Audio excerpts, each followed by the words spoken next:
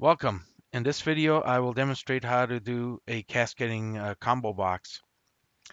To begin, I will create an ASP.NET MVC4 web application.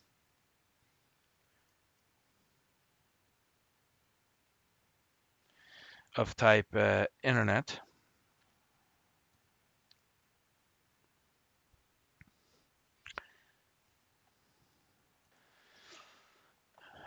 Okay, so uh, let's clean up a bit here. Uh, under uh, uh, views.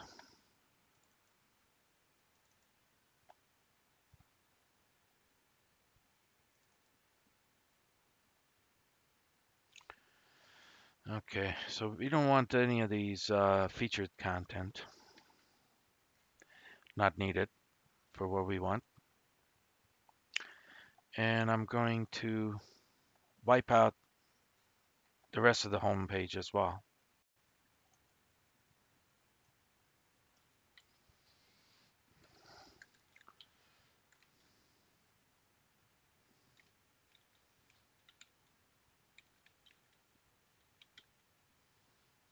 So this is all I need.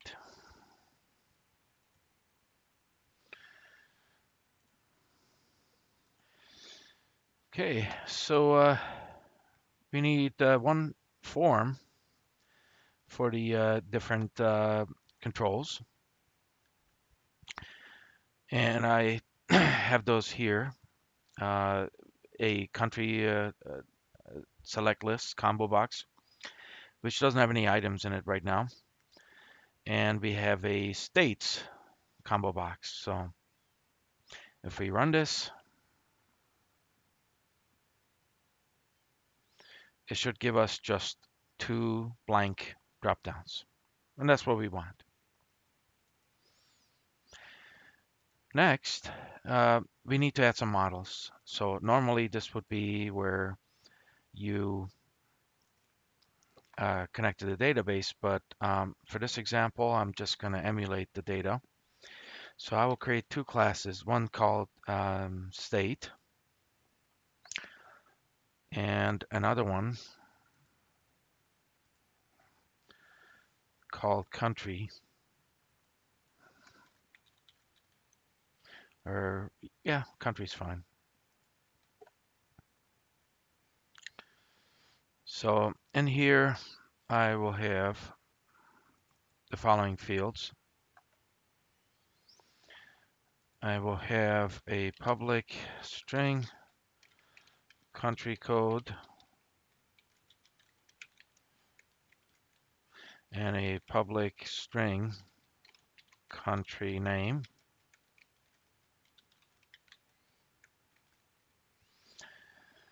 And in order to emulate the data I will have another static field uh, iQueryable of type country called get countries. And here I'm just initiating a list of country uh, countries with um, country code and uh, country name. So this shouldn't surprise anyone. This is just uh, me creating some fake data. And in the uh, state class, we will have a public string country code.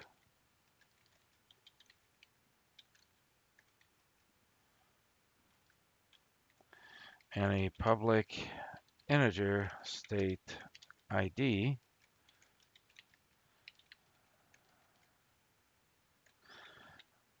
and a public string state name.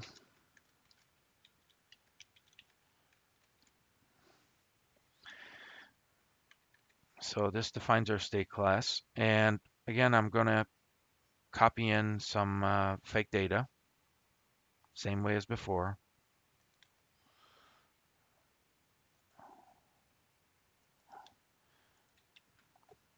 Rather than me typing all the fake data, but just it's exactly the same thing as the other one. I'm just initiating some uh, country codes and state IDs and state names. Canada and US. So, and that really takes care of our uh, classes. It looks like we've got some um, build issues. That should go away when we compile. So uh,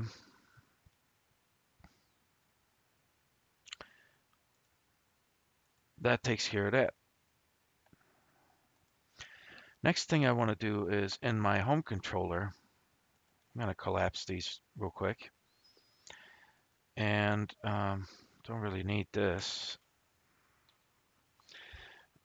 Okay, so I'm going to create two new um, action results. Um, one of them we'll call public action result country list.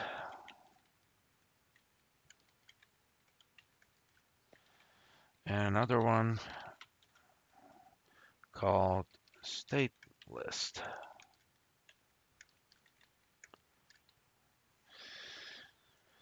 So here, um, I will have an I queryable called countries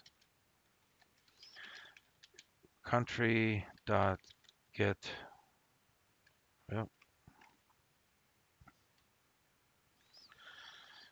add a reference. Country dot get countries. So if http context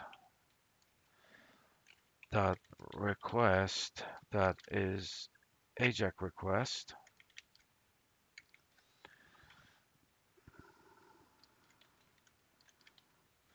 we will return a JSON of new select list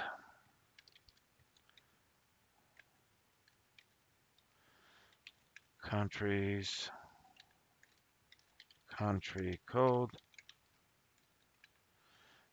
and country name. And we will add the JSON request behavior dot allow get to allow it to uh, fetch the information. And here we will return the view.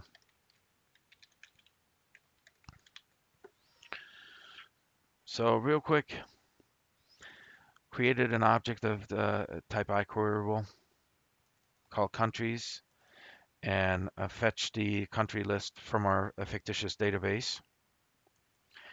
And here is a check to see if we want to use JSON or if we want to return regular results. And I'm just returning, if it's a JSON, I'm returning a JSON select list of type countries and uh, passing back the information. So shouldn't be shocking to anyone. The same exact way, I'm going to do the same for our states. So I'm going to, for this one, I'm going to um, Well, first of all, I got to pass a parameter here. So going to uh, look for the states where the country code is what um, we've passed in.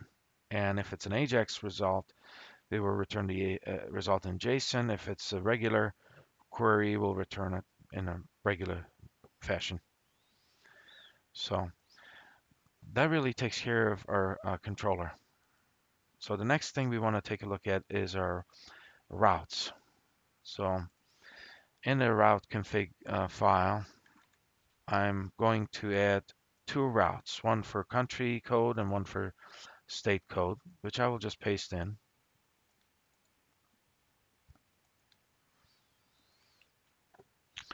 So here I've added a route called state list, which has a path home, states, list, and then a country code. And another route called countries list, which has home, countries, list, um, as the path.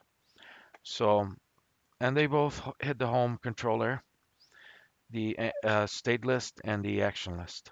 So these are just some custom routes um, so that it makes it a little easier for us to um, understand what we're querying. So that takes care of that. So the uh, last part of it that's left is the actual uh, jQuery uh, code section. And unfortunately, there's no way around not having a jQuery in this uh, application. There's really no other way for you to create a cascading dropdown without using some sort of a JavaScript or jQuery. So um, that comes next. So here uh, we have a section here called scripts. And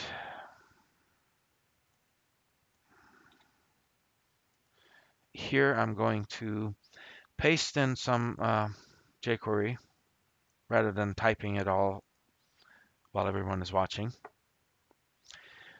So what this does is it first it gets um, from home countries list, it gets a list of countries. And then it adds another option, a blank option to that. And then for each of the items that it gets in JSON, it loops through and it sets the value to the value of the uh, country and the uh, text to the uh, text, uh, the name of it essentially. And then it appends those items to the country's uh, combo box, which is right here. And all this happens um, when the application loads essentially. Also, there's another uh, combo box called countries, which is down. Uh, I'm sorry. When the countries drop-down list changes, uh, this function gets called, which hits the states list and passes in the, the country that was selected from the countries drop-down and does the same thing essentially. It uh, appends the uh, blank uh, line to it and then it loops through and it populates all the states that go with that country. And then it, it puts them in the combo box. So that's really all there's to it, really. We don't have a featured code, so I'm just going to take that off.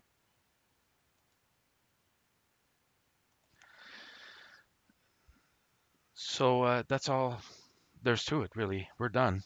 Um, I realize that I did it a bit too fast this time around. I got a lot of feedback from different users saying uh, I was going through different uh, things uh, too slow. So I tried to copy and paste in as much as I could to uh, cut down on the, the amount of time that the video takes um, to go through. But um, I will make the source code available uh, in the description of the video uh, so that you can download and look through it. And you can also always just slow down and pause and take your time viewing the uh, uh, different parts.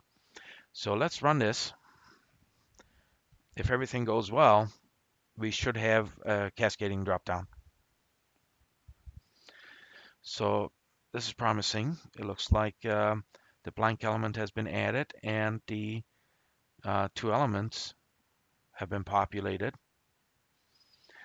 So if I click on the states, now I've got the, um, on the country and select United States, I get the state right here. So I can pick a state. And if I pick Canada, I can do the same with Canada. So